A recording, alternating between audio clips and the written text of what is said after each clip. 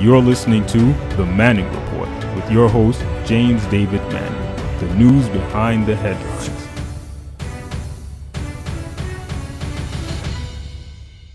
Watch Fox News. Watch them try to spin that the Mueller report, Trump talking about no collusion, complete exoneration. Well, we all know that's a lie. We all know that. We know that's a lie. We know that Robert Mueller said that he could not have been exonerated from a collusion, uh, from obstruction of justice, rather. If he could be exonerated, he would have exonerated him. We know that. We know that, that, that Mueller said that. We also know that he had 141 contacts. Trump campaign had 141 contacts with the Russians during the length and breadth of the campaign. And they know that Trump is as guilty as sin. They know that. But they don't care. Why? Because there's something else more important than, than America, and that is white people. That's right, white people. And you know, I, I understand this dynamics. I, I understand that white people are scared to death that 10 years from now, they're going to be picking cotton and have black slave, a brown slave masters, a Muslim or something like that. You know, that, that's how it is.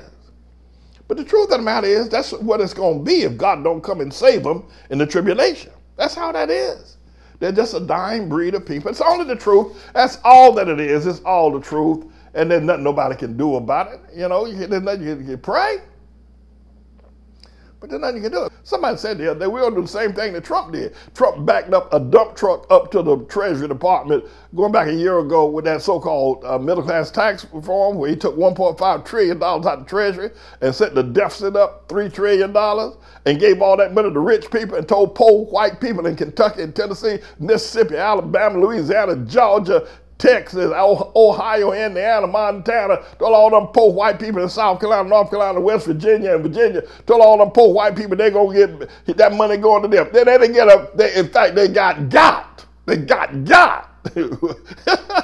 they're looking at their income tax return checks and they're getting less money now than they did under Obama. These white people down there in Tennessee and Kentucky talking about, we want, looking at them, they're looking at their tax return, they say, we want Obama, we want Obama. Hell, on Obama, they were getting big tax returns, they were getting Medicare, Medicaid, they were getting drugs, they were getting, we want Obama down there in Tennessee. They won't put it on the news. They won't put this on the news, not even CNN, they're scared to care. But yeah, the white people down there in Tennessee, down in Arkansas, Mississippi, Alabama, East Texas, Georgia, Florida, we want Obama. We looking at looking at their tax return checks. They got three thousand dollars less this year than they got when they were Obama. We want Obama. Trump lying, talking about that he gonna be able to that the white people, poor people gonna get richer. The, the, the, the rich people got richer. And I think that we need to see, you know, how much money did Trump make? So I just want to pull y'all's coat to let you know, just because these people getting money to Trump, don't mean that they didn't take the Mueller report serious. They know Trump is a scoundrel, a liar, a con man, a pathological, a degenerate from way back when. They know that. But there's something else more important to them. Number one, their money. And number two, and, and then order, the number two is their white race, because some of them got enough money to buy an island and, and leave America and go live where you to put up with Muslims or brown skinned Mexican people. You're listening to the Manning Report, everybody. I am James David Manning. This is a bit of a news blog we do looking at spiritual wickedness in high places for the most part, making uh, some observations about it and giving people a biblical foundation to the way of interpreting rather than have uh, uh, Sean Hannity or Laura Ingraham or Jeanine Pirro or Anderson Cooper or Rachel Maddow or Don Lemon, uh, Rush Limbaugh interpret what's going on in the world. You come to me and I'll tell you based on what the Word of God says. They'll just give you their worldly, sinful view.